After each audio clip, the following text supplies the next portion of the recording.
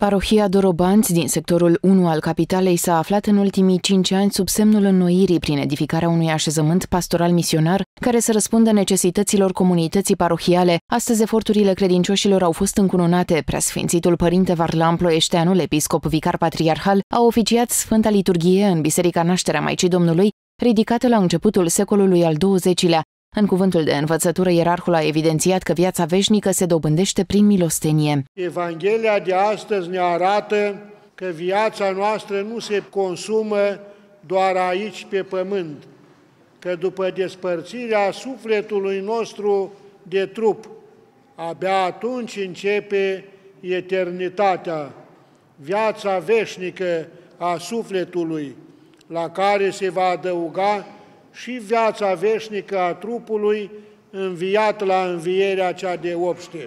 Și dacă dorim să dobândim viața veșnică, fericirea veșnică în comuniunea celor sfinți și drepți, în sânurile lui Avraam, Isaac și Iacov, să fim milostivi precum Tatăl nostru cel din ceruri milostiv este la finalul Sfintei Liturghii, preasfințitul Părinte Varlam Ploieșteanul a binecuvântat așezământul pastoral misionar al parohiei Dorobanți. Aici se vor desfășura activități cu tinerii. Acest așezământ, ca să ajungă la finalitate de plină, trebuie să fie mereu plin de tineri care să se întâlnească aici pentru lectură, pentru vizionarea unor documentare care să-i zidească sufletește. Dacă aici se vor desfășura activități creștine atrăgătoare, interesante, sperăm să-i cucerim, să-i convingem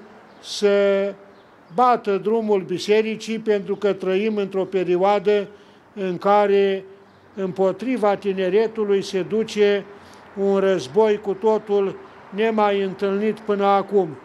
Ispita aceasta a vieții dezorganizate, riscurile pe care le presupune folosirea excesivă a tehnologiei, această invazie a drogurilor și a tot felul de substanțe halucinogene, alcoolul și alte patimi luptă tânăra generație. Parohia este așezată în apropierea a două licee mari din București, liceul Ion Luca Caragiale și liceul Alexandru Blahuță. Aproape de noi este și liceul Jean Monnet, aproape este și școala 45. Socotim că era de mare nevoie un așezământ, un loc în care parohia să-și desfășoare cu adevărat activitatea, pentru că neavând absolut nimic, biserica nu puteam bloca pentru activități cu tinerii, pentru activități cu copiii, sau pentru alte activități pe care parohia le face. În anul 1974, regimul comunist a demolat clădirile anexe din jurul bisericii, motiv pentru care activitatea misionar pastorală și social-filantropică s-a desfășurat timp de aproape o jumătate de secol în spații improvizate.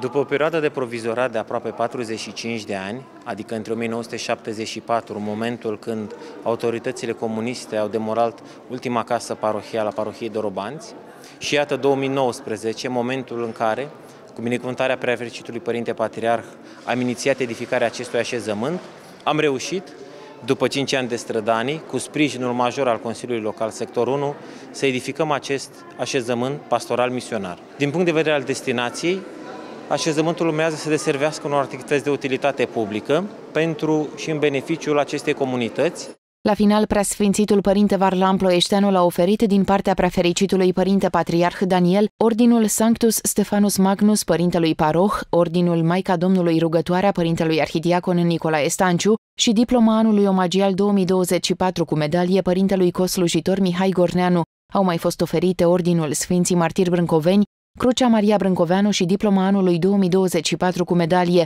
De asemenea, Consiliul Parohial a primit o distinție de vrednicie cu chipul Sfântului Cuvios Dimitrie cel Nou, ocrotitorul Bucureștilor.